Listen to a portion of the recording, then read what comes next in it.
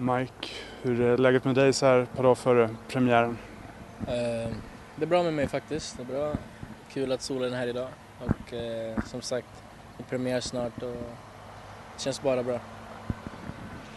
Hur är formen? Du har fått, du fick göra ett inhopp mot Assyriska, såg pigg ut. Hur, hur känner du dig? Eh, nej, match mot Assyriska, inhoppet eh, tyckte jag med, såg pigg ut, kändes bra i alla fall. Eh, och sen har det varit lite till och från, varit eh, lite problem med skador under försäsongen. Eh, kan väl inte känna själv att jag är jätte 100 procent nu men börjar komma tillbaks, eh, börjar bli starkare och jag hoppas att ja, det får vi visa sig när jag är 100 procent och då ska jag spela helt enkelt. Känner du någon skillnad i år jämfört med samma tid förra året? Alltså anledningen till att jag frågar är att jag tycker du ser lite tuffare ut i närkamp och så här, sätter emot lite mer. Eh, ja, nej men det är som du säger, det, hela året har känts bra, träningen har känts bra och eh, jag känner själv också att jag utvecklats, om man inte tänker på fotbollsmässiga och själva ute på plan, men även där du säger fysiska bitarna har blivit mycket bättre och mycket starkare och går in mer resolut i situationer och liksom jag har byggt upp det jag ska bygga upp och det är speciellt att under bo, eh, runt bålen och benpartiet som jag har tränat extra och det har, det har gått bra. Men de här skadebekymren du har haft och så, har det släppt helt nu allting?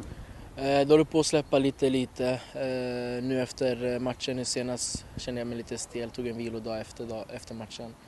Men nu har jag tränat på som vanligt och eh, som sagt ser fram emot premiären.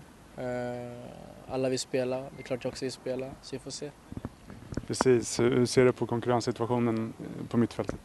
Nej, vi visste ju redan när året började att i år kommer det vara svårt med konkurrens. Liksom det, vi har bra spelare på alla positioner. Och det är någonting som vi visste. Det, det är någonting som jag tycker är bra. Det ökar, ökar intensiv... Intensiv... intensiv det ökar tempot på träningen. Eh, och liksom det som jag säger, alla vill spela och det är bra. Det, alla, alla, alla vill spela, alla vill bära tröjan och liksom spela hemma på Söderstadion. Och, så det är bra. Så jag tycker det inte är någonting dåligt utan det är bara positivt. Och de som spelar, det är de som är tränaren anser är bäst för den matchen så det får man ta. Och sen får man som sagt komma in och påverka och det hoppas jag att jag gjorde senast. Det här blir ju första matchen på Söderstadion för året och ni har inte ens tränat där vad jag förstår. Eh, hur ska det bli att komma tillbaka?